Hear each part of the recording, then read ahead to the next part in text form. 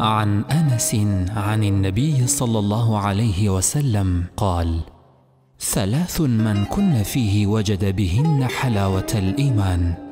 من كان الله ورسوله احب اليه مما سواهما وان يحب المرء لا يحبه الا لله و ان یکره ان یعود فی الکفر بعد ان انقذه الله منه کما یکره ان یقذف فی النار رواه البخاری